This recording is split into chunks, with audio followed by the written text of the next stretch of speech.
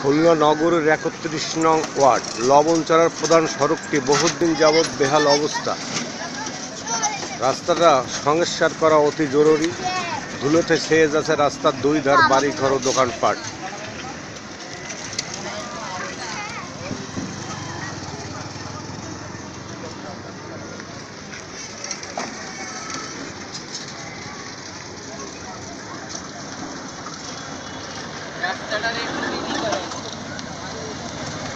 Mrs Begum auto rice mill limited পরিচালক বিশিষ্ট ব্যবসায়ী জনাব মোস্তফা জামাল লবণচড়া গোড়াখাল সিপিআট খুলনা। আপনার কাছে আসা হয়েছে খুলনা নগরীর বিশাল বহুল এলাকা আমাদের লবণচড়ার প্রধান সড়কটি বহুদিন যাবৎ বেহাল অবস্থা। এই বেহাল অবস্থা সড়কটি নিয়ে আপনার কি মন্তব্য? কারণ এখানে আপনার ট্রাক মিলের, এত বড় রাইস মিল এই পরিচালনা করেন, এতে আপনাদের অনেক সময় অনেক বিঘ্ন ঘটে। এই ব্যাপারে আপনি আমাদের কিছু বলেন। আমি প্রথমে মাননীয় আমাদের দেশের প্রধানমন্ত্রীকে অনেক ধন্যবাদ জানাই। আমাদের মাননীয় প্রধানমন্ত্রীর উদ্যোগে আমাদের এই রাস্তাটা, শিল্প এলাকার রাস্তাটা উন্নয়নের জন্য বিশাল বরাদ্দ দিয়েছেন। সেই জন্য ওনাকে আমি আবার আন্তরিকভাবে আমাদের এলাকার পক্ষ থেকে, খুলনাবাসীর পক্ষ থেকে ধন্যবাদ জানাই। তবে দুঃখের বিষয় এই যে, এই রাস্তাটি দীর্ঘ দশ বারো বছর হয়ে গেছে, কিন্তু রাস্তাটি সংস্কার হচ্ছে না। কি কারণে হচ্ছে না আমরা বুঝতে পারতেছি না। প্রতিদিন এই রাস্তায় একটা না একটা অ্যাক্সিডেন্ট হচ্ছে। অ্যাম্বুলেন্সে রুগী নেওয়ার সময় অ্যাক্সিডেন্ট হয়ে মারা যাচ্ছে। তারপরে আমাদের এই শিল্পনগরী, বিশাল একটা শিল্পনগরী, এখানে প্রায় তিরিশ থেকে চল্লিশটা রাইস মিল আছে। দুটো, একটা সিমেন্ট কোম্পানি প্রায় কয়েকটা মাছ কোম্পানি উন্নয়নমূলক কাজের ভিতরে হাজার হাজার শ্রমিক এখানে কাজ করে থাকে প্রতিনিয়ত। কিন্তু দুঃখের বিষয়, প্রতিদিন আমাদের গাড়ি অ্যাক্সিডেন্ট হচ্ছে। রাস্তাঘাটে আমাদের মা ভাই বোনরা অ্যাক্সিডেন্ট হচ্ছে, হাত পা ভেঙে যাচ্ছে। আমরা কয়েকবার কর্তৃপক্ষকে এই নিয়ে আলোচনা করেছি।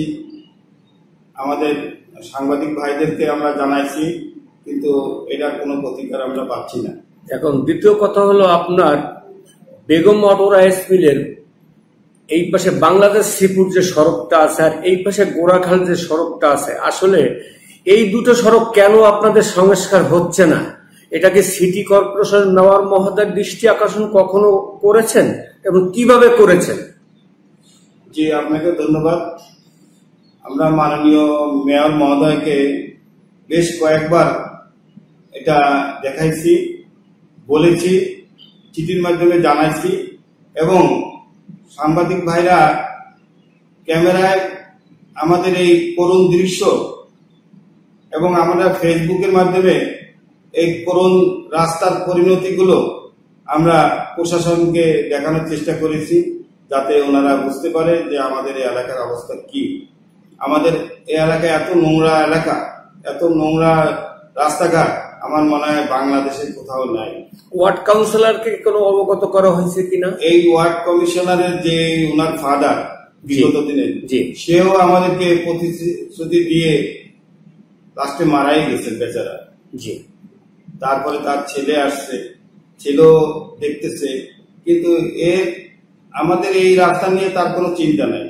তার হলো ভিতরে ওয়াবদার ভিতরে যেসব রাস্তাঘাট আছে সেগুলো উন্নয়ন হচ্ছে কিন্তু আমাদের অত্যন্ত দুঃখের সহিত জানাচ্ছি। আমাদের এই খালে যে খালটা ছিল সেই খালটা ভরাট হয়ে গেছে এবং দখল হয়ে যাচ্ছে। বিভিন্ন লোকরা দখল করে নিচ্ছে। হ্যাঁ? জি। কিন্তু সিটি কর্পোরেশন দেখেও দেখতেছে না।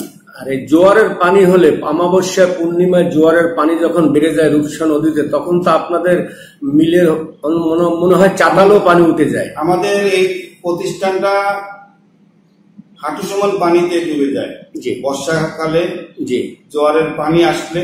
ওইখানে একটা মানে গোড়াখালি একটা সুইচ গেট হওয়ার কথা। দীর্ঘদিন ধরে শুনে আসতেছি কিন্তু। মেয়র মাননীয় মেয়র মহোদয় আমাদের এইটা।